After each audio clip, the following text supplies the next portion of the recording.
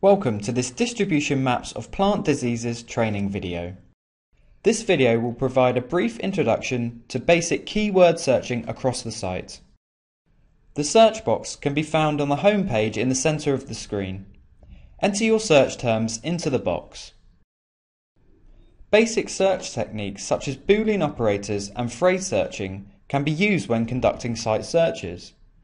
At this point, you can click Search located at the right side of the green box. Or you can select an organism category from the topic filter to narrow your search.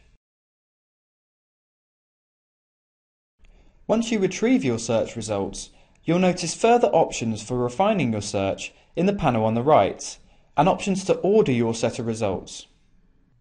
You will be able to narrow your search according to geographic location and year of publication.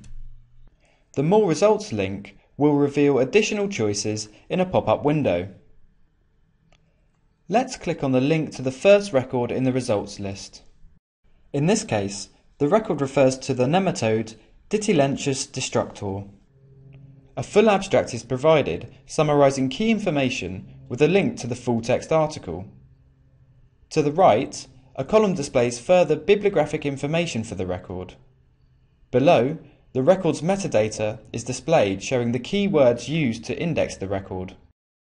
For more information on using DMPD and to view further training videos, visit the help page in the top bar menu.